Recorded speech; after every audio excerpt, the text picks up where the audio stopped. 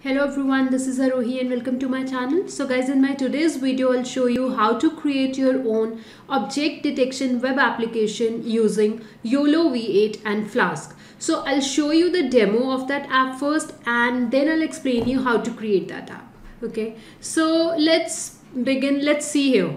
So over here, you'll choose a file let's select a file. So i will explain you how to work with image first. I'm showing you how to use image. So this is the image. Let's select this image and click on the upload. When you click on the upload it YOLO V8 process will uh, will process the image and it will show you the output. So you can see here right? And then let's suppose if you want to work on a video then you can select a video from here. So now in this case now i'm choosing this video okay now let's upload it. And it depends upon the size of the video that how much time it will take to process it okay? And once the processing uh, done you will see the output on the screen over here only. So let's see how much work I've done. So you can see the work is still going on. So so uh, this YOLO V8 is processing all the frames right now and you can see here is the output video okay. So guys this is how it will this app will work. Now I will first of all I will tell you uh, how to set up the Python environment to run this code. And then we'll talk about the dataset which I have used in this uh, class.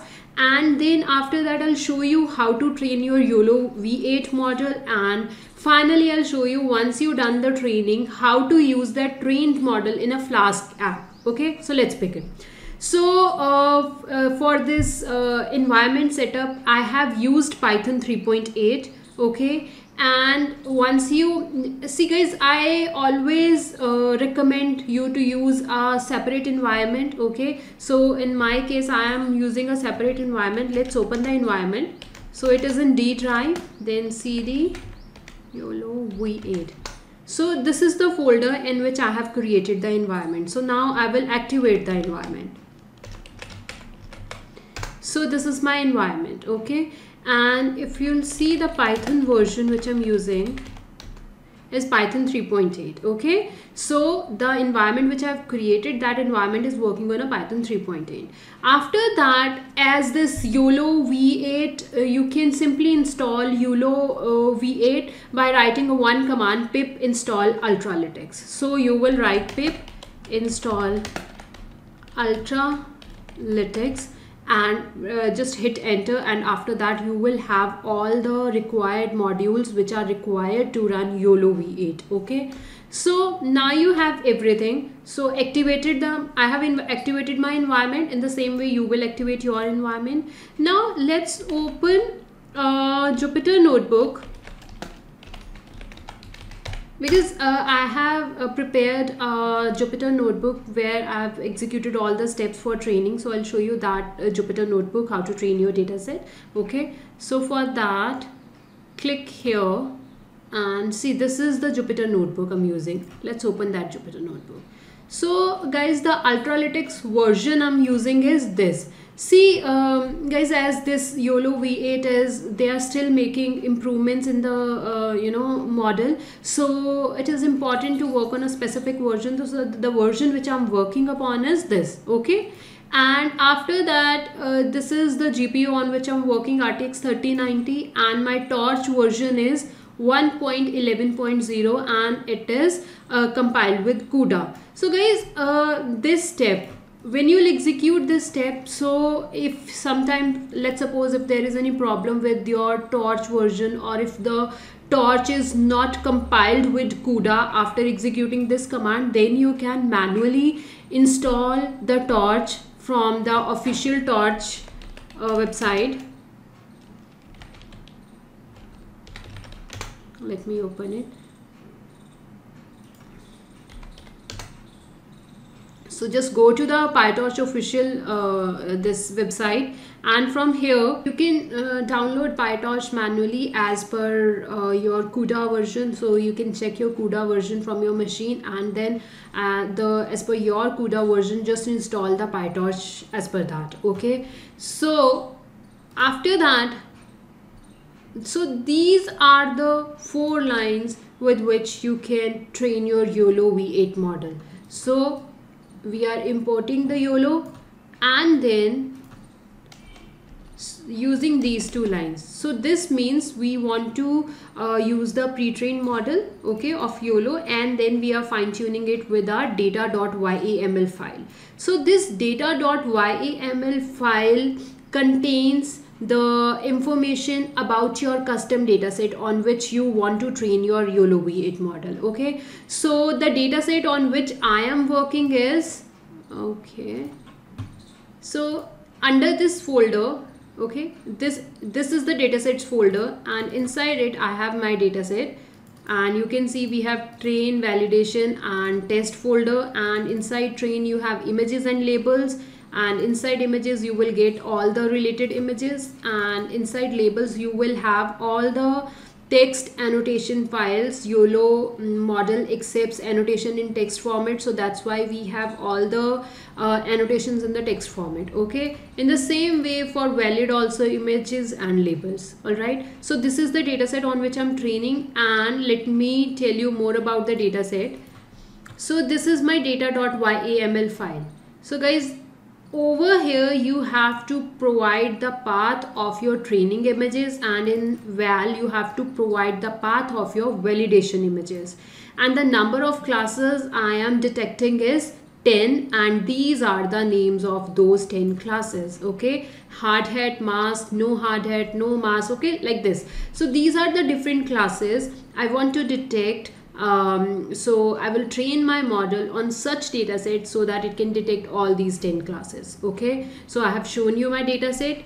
The that data set uh, we have all the details of that data set in this data.yaml file. So model.train we want to train the model so that's why we have written this. And this is the file which will provide the data information to the model and I want to train my model for 100 epochs okay? So once the training done after that let's go back here. So see this is the Jupyter notebook I'm showing you. And here is my dataset folder. Now you will get a runs folder once you start the training command okay? Once the training command started you will get this runs folder. And inside this runs you will get a detect folder and here you will get a train folder. Inside the train folder once your training done you will get all these files and inside this weights you will get your weight file. So guys you will get this best.pt all the other things best.pt and last.pt you will get after executing the command which I've just shown you. After running this cell okay and once um, it uh, you know 100 epochs have been completed after that you will get this best.pt and last.pt okay? All the other files this I've shown you in some time like what I've done. So basically I'm exporting the model in different formats okay? So these are these three things are not a part of this today's tutorial okay? So training done. So now we have best.pt file now this best.pt file is trained on our dataset so it can detect all the 10 classes our custom 10 classes okay? So now we'll copy this file this uh, trained model from here and we are placing it over here okay?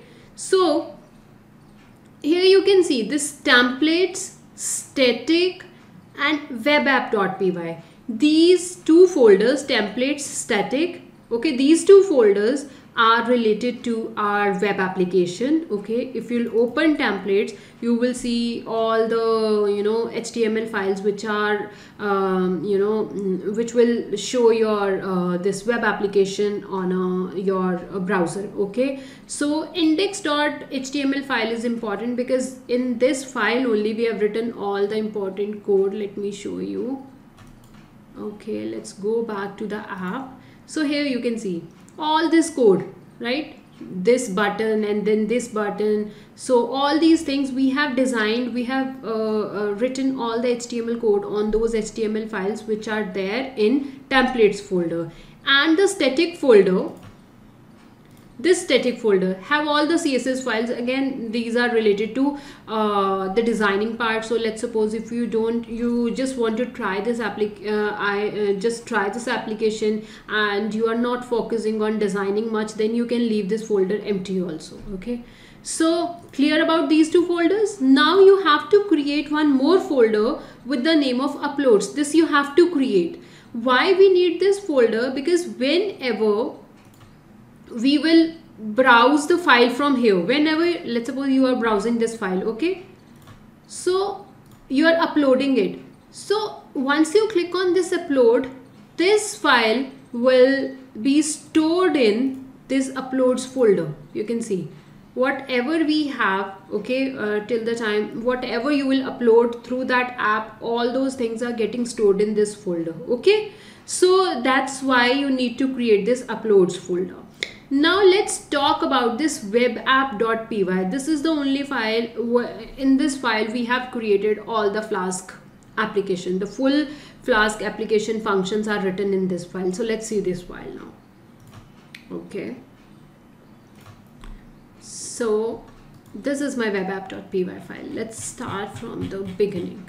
So these are the important modules to import and this file line using just by writing this line you can use yolo v8 inside your flask application functions okay so we are importing that and then we are creating a flask app so this is just a basic function. This function will open a index.html page. And what is our index.html page?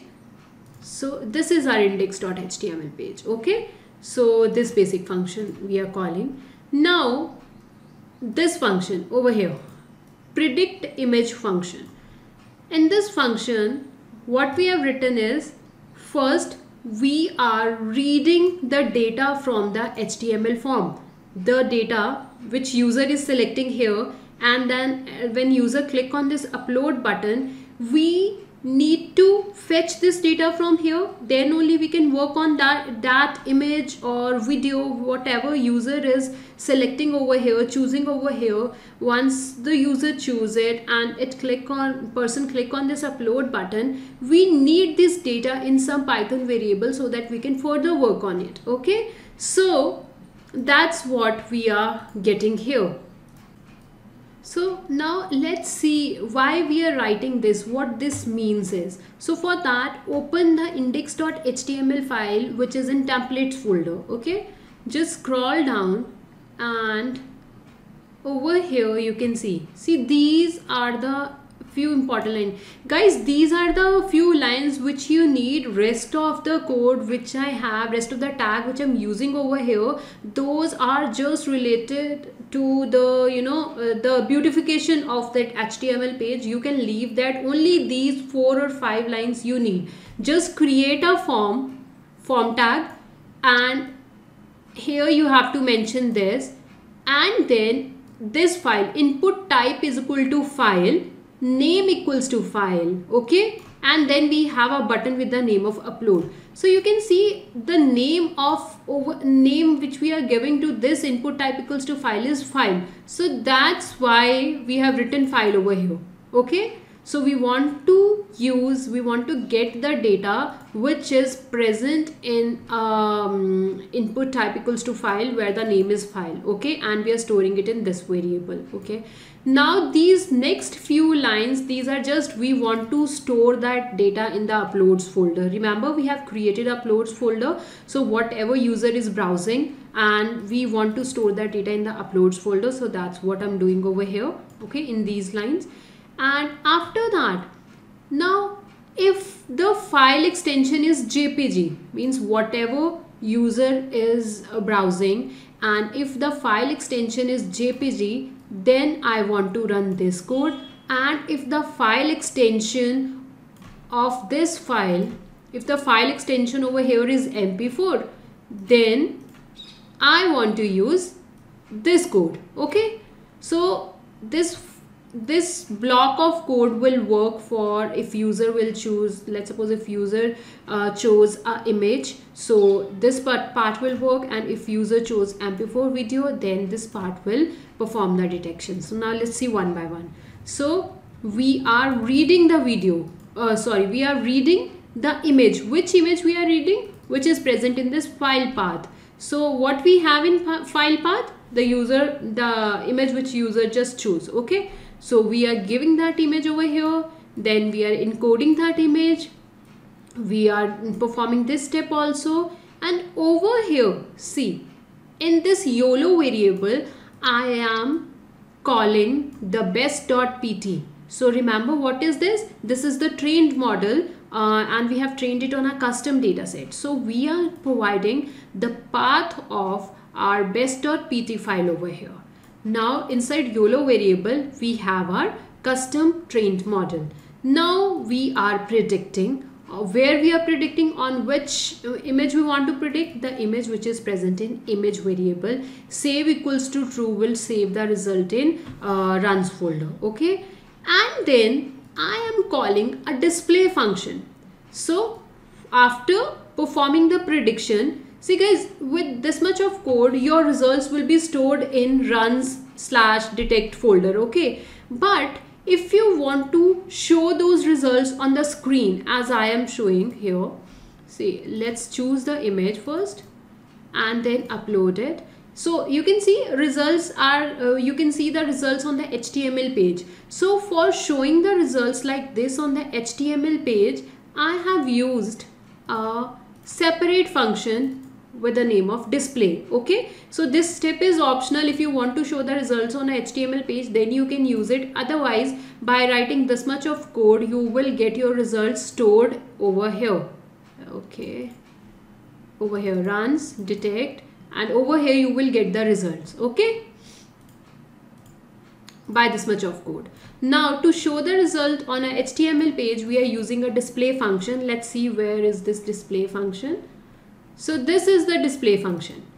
So what I'm doing in this um, function is I am just runs slash detect. What is it? Whenever YOLO V8 uh, perform any detection it by default stores the output in uh, inside this detect folder which is in runs folder. Okay? So we are getting that.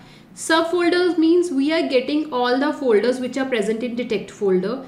Latest subfolder will have the folder name of the latest prediction folder which is created under detect folder. And then file we are getting the data from the latest folder okay latest prediction folder. And then over here you can see these two lines. If the file extension is jpg means if the if the, that is a image then we are using send from directory method of a flask and we are sending that data to our html page. Okay directory means in which directory that uh, data is present and then the name of that file and then this okay request.environment so you have to send like this. This function will show you the output on html page. Okay now let's see how video work so now we have done this if condition okay? From this predict image function we have done this much. Now let's understand the code of video. How to work how to use YOLO V8 uh, with Flask okay? So the file path whatever user is choosing the browsing okay? That thing we are getting in a, a file this video path. And then we are using cv2.video capture. So we want to read a video using cv2 so that's why we are using video capture. And then we are storing the frame height and width using this method. The video which we are reading there would be some height and width of that video frames right? So we are capturing that over here and these two lines I have used because uh, once the detection done on the input video I want to store that video where we have done the detections. Uh, I want to store that video so that's why we have written these two lines. So output.mp4 video will have your video with the detected objects okay? And then we are reading our uh, trained model okay? And then this line. What we are doing over here in these lines. So if if there is a video and then we want to read that video until we reach the last frame okay? So that's what we are doing. And oh, we are reading all the frames and then on all the frames we are running the model. What is there in a model? This we we have called the our custom trained model in that variable. So we are using our custom trained model on all the frames and save equals to true will save the result in a folder okay? And then this we are using this and guys these two lines these two lines will help you to see the output video with the detections okay? So let me show you this part first so guys uh, if you want to learn more about these things then you can learn it from here. You can see this is the YOLO V8 official uh, website and I, over here on this page if you scroll down just go to the last and over here they have explained how to how we can plot our results. So I have picked these lines from here and I am using those lines you can see here to plot the results okay? With these two lines you can see the output video with the detected objects. Let's see how to do that. So let's see this part. Okay. Go back. Now let's select a video. So this time I am selecting let's let's select okay this video okay? Upload and so it is working over here see you can see all the frames are getting executed one by one.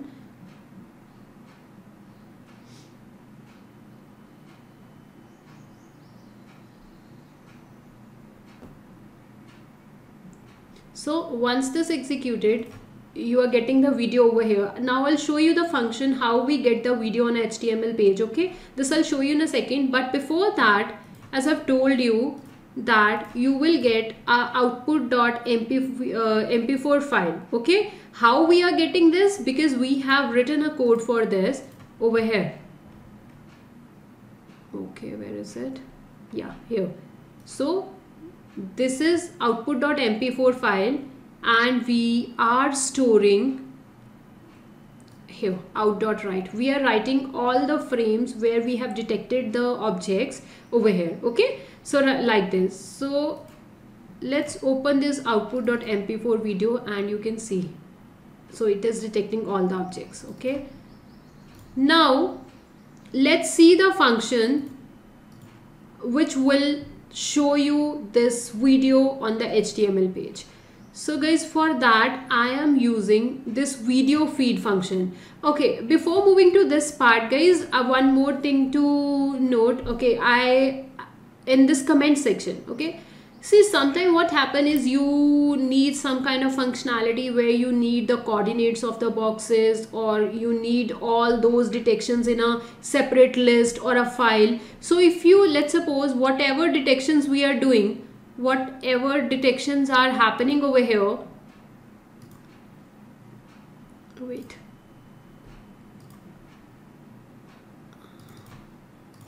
so whatever detections are happening in the video if you want to get that data stored somewhere then you can use this. See for result in results. So what is this results in results we have called a model for each frame. So like this you can get the values of uh, box values and the probabilities the class and the xy coordinates xy and then the width and height coordinates. Okay if you want to get the list of these kind of things then you can use this kind of loop uh, on your result and you can get that also okay so now let's see what this video underscore feed function does so what i've told you this function will display your output video where you have done the detections on your HTML page. Okay, so video feed function. Let's go to the video feed function. So this is my video feed function and here you can see this function is returning this. So this function is returning another function as a response, this get frame function. Now what is get frame function? This is get frame function. so, so guys in this uh, get frame function what we are doing is the output.mp4 video the output video which we have just um, got after um, making the predictions we are reading that file output.mp4 we are reading that file. We are reading all the frames one by one. Then we are encoding into a jpg and then we are using the yield function. So guys this yield function is similar like return function only. Uh, there is only one difference that with the help of yield function you can um, return uh, a sequence of values. So in our case we are working on a video which contains a sequence of frames. So we are working on a sequence of frames. We are working on a multiple values. So that's why we have used the yield function. Otherwise yield function is similar like return function only. Okay? So we are reading the frames using this get frame function. So that get frame function we are uh, providing to the response uh, of uh, flask. And now flask is showing this response on the html page. Okay? So uh, this is how you can create your custom applications using uh, yolo v8 and flask. I hope this video is helpful. Thank you for watching